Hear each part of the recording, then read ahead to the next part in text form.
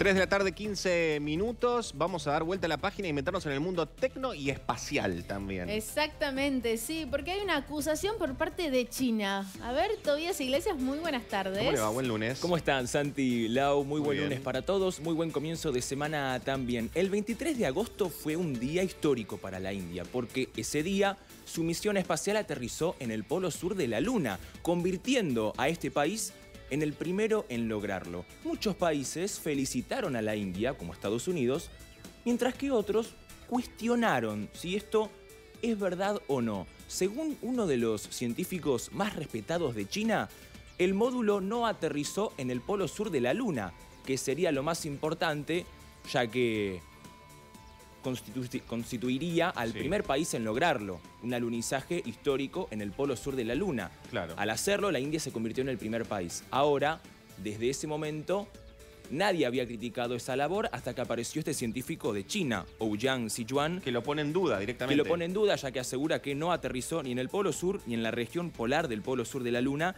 ni cerca de la región polar antártica.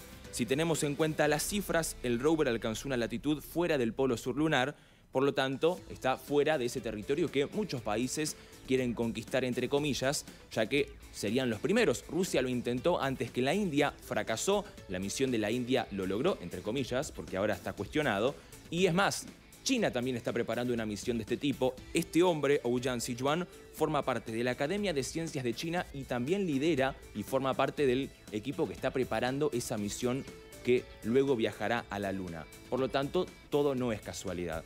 Según él, los cálculos marcan que el rover alunizó, pero en una parte lejana del Polo Sur, no en esa parte específica de nuestro satélite natural. Por lo tanto, es una conquista muy importante, ya que la India se suma al grupo de tres países, Rusia, en su momento la Unión Soviética, Estados Unidos y China en alunizar una nave espacial, pero no lo hizo en el Polo Sur de la Luna, que sería lo más importante de toda esta misión.